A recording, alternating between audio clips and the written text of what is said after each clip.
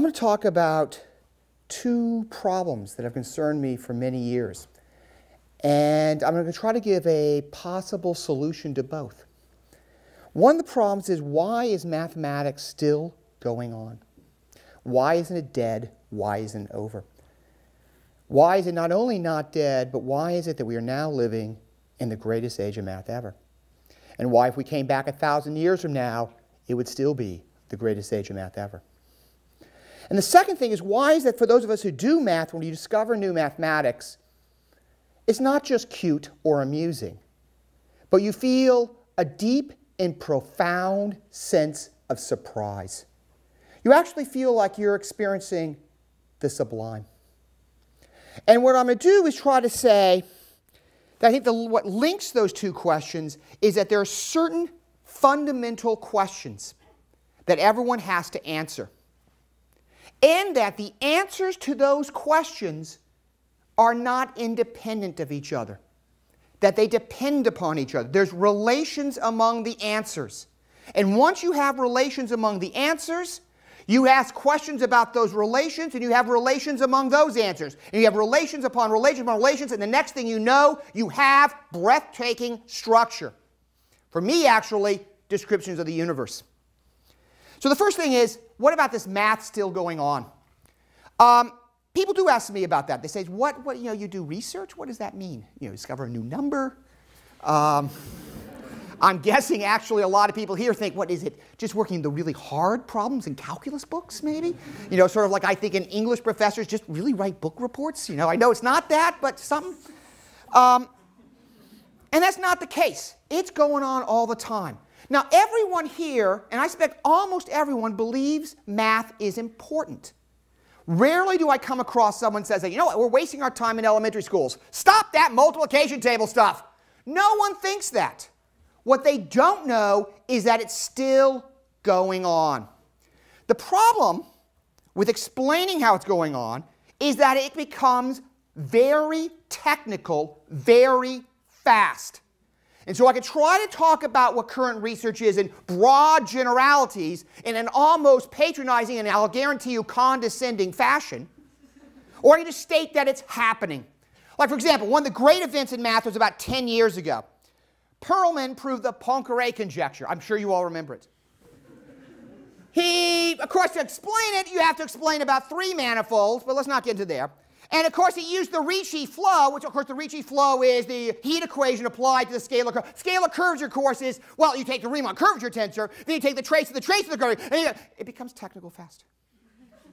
Even my own research, which pales in comparison to someone like Perelman, you know, I've been really concerned about cube roots, cube root of 2, cube root of 5, the structure of those things. And so, of course, what you study is you start with a number 1. You start with alpha, your cube root. You look at alpha squared, 1, alpha, alpha squared. You, of course, look at a 3 by 3 matrix. Then you look at, well, the 3 by 3 matrix is full of integer entries, maybe rational entries. And you look at the eigenvectors and eigenvalues. But again, it becomes technical fast, even though all the words I used aren't all that hard mathematically.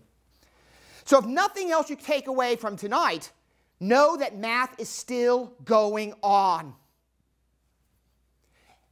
And the greats, what they do overwhelmingly is there be one area of math here, one area of math here, both decent, interesting areas, and they discover profound interconnections.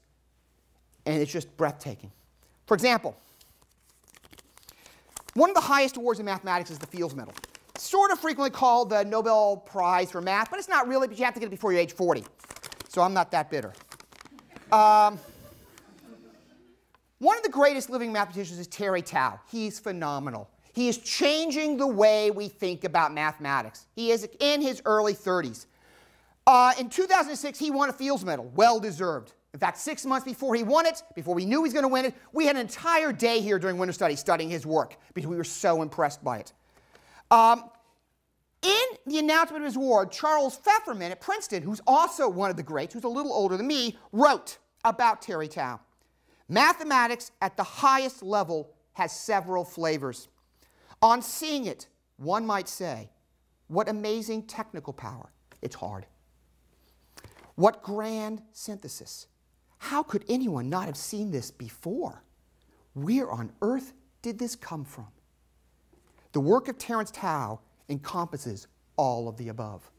Notice what it said technical power. That's why it's hard to explain it to people.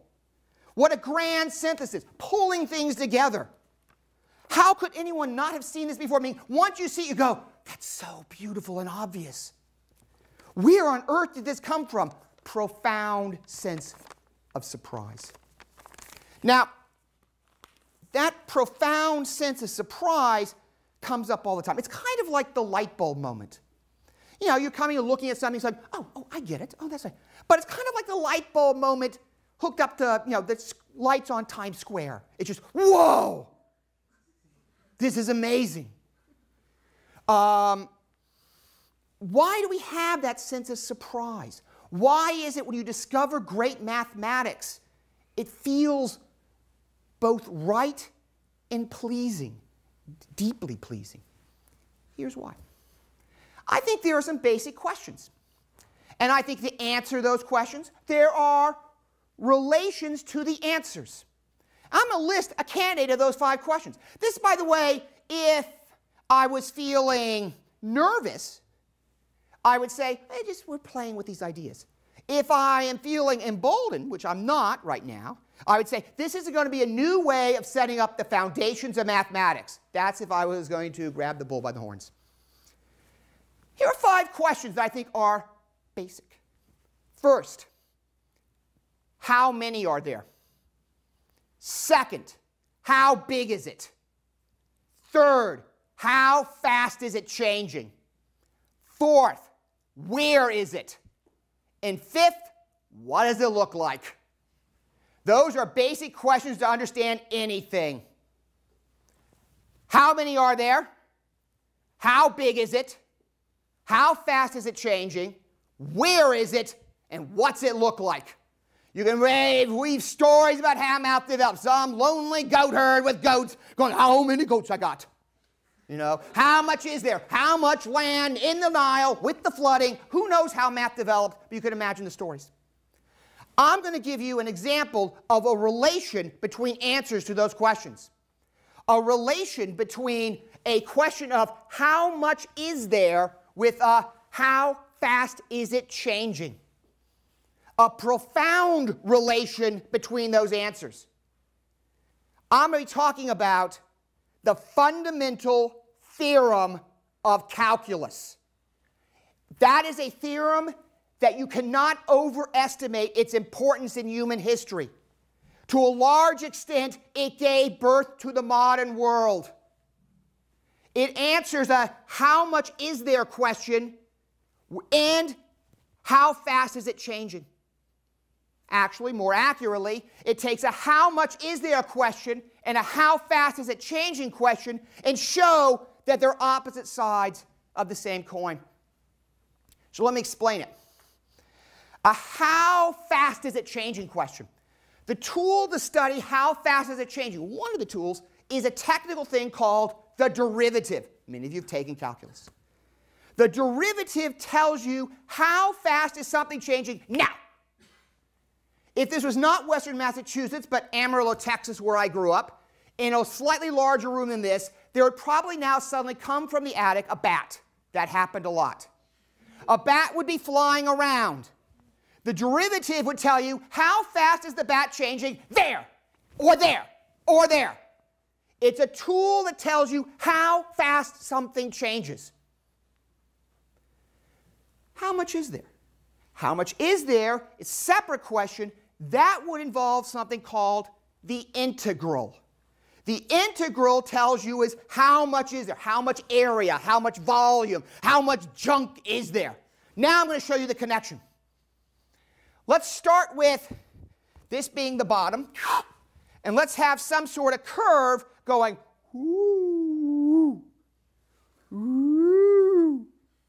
boom.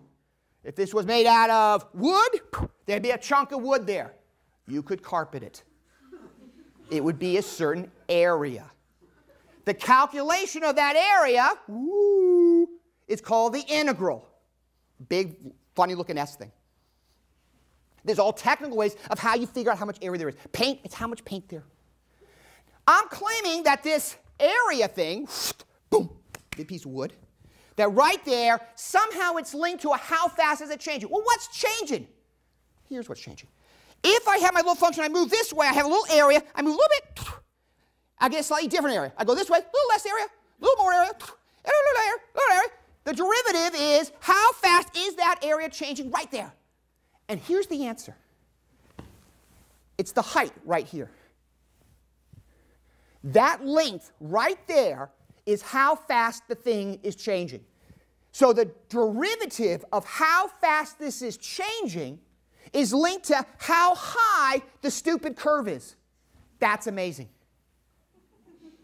And it means every time you have a how fast is it changing question, you look for a how big is there question that's going to be linked to it. Every time you see a how big is there question, you look for a how fast is it changing question.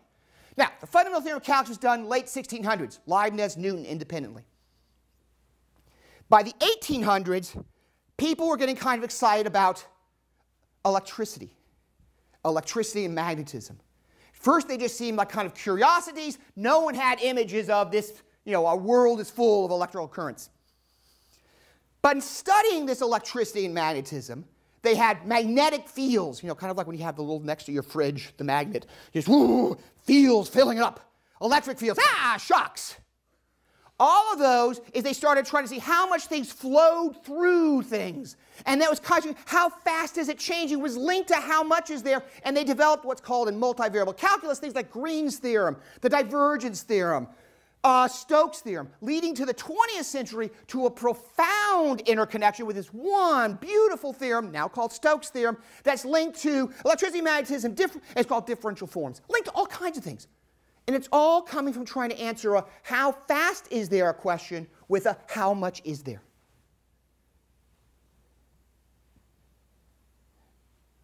Now, I'm claiming that that's what gives structure to mathematics is that to answer those five questions, that there's relations among the answers.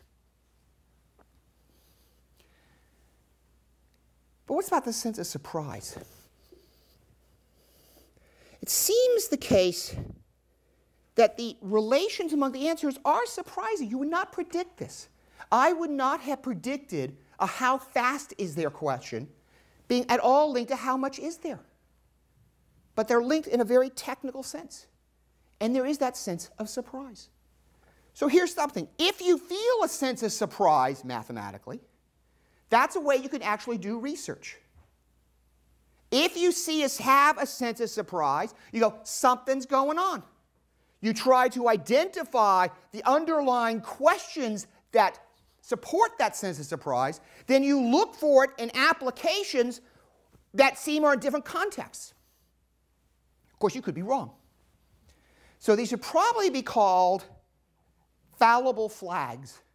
That's a term that Bojana Mladenovic in the philosophy department here told me when I was talking to her about these ideas a few years ago. And I said, Your sense of surprise should be a flag that something might be going on. There's new research. But of course, you could be wrong. And she said, We'll call it a fallible flag. And those really do happen, that you can have an idea and frequently it's wrong.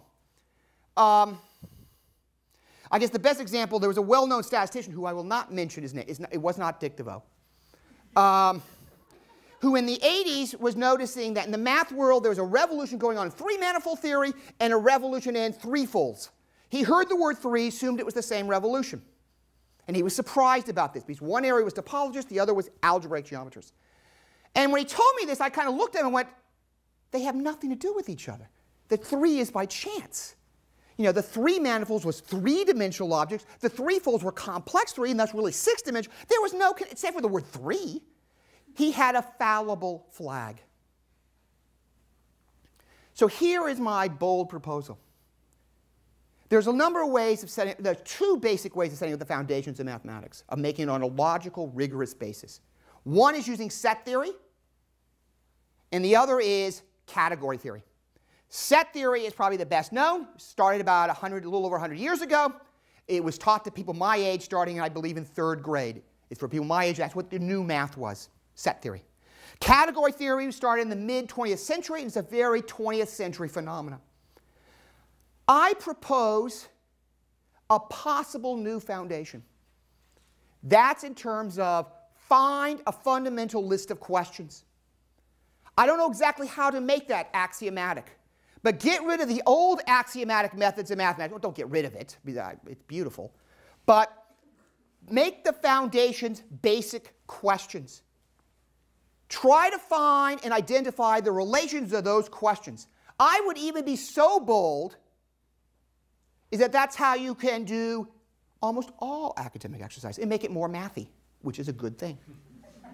In any given discipline, ask, what is a revolution? You could ask that question.